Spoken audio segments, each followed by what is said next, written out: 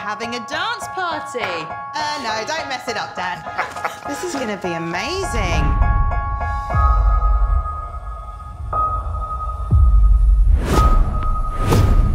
How did you find me? Everybody's fine, findable, darling. Do they know? The family? Know what?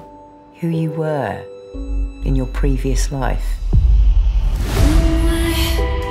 I'm not Cassie anymore. That life is over. I'm gonna see you. Long time since I've been in here. I'm gonna meet you. Do you ever hear from Cassie? Spent 17 years of my life looking for her. Well, well, well. Lorraine, My favourite detective. what's the urgency? A missing person. Stuart Green. He's back. He's dead. Apparently not. Two men go missing exactly 17 years ago to the day after Stuart Green disappeared. Coincidence, my whore. You need to stay away from her. Do you know Megan? Do you? Do you know she's changed her name? She is now Megan Pierce. You're going to keep you and your family safe. How exactly?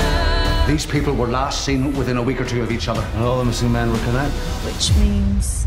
It's a serial killer.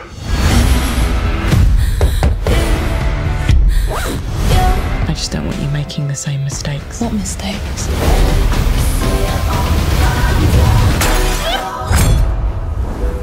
Something's going on.